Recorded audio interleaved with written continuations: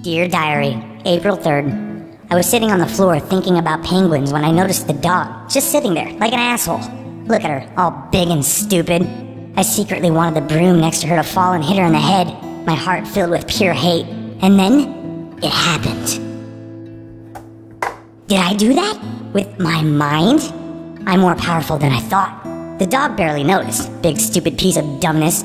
You could have been killed, jackass. I called her a bad name to hurt her feelings, but with my new mind powers I could do much worse. Burn. Burn now. Burst into flames, I command you! Why won't you burn? She must have thought I was crazy.